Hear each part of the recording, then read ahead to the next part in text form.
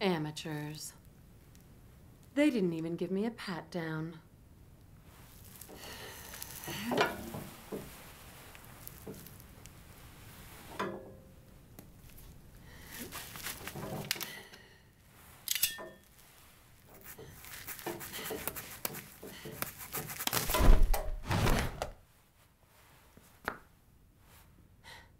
I didn't expect to get into this place so easily.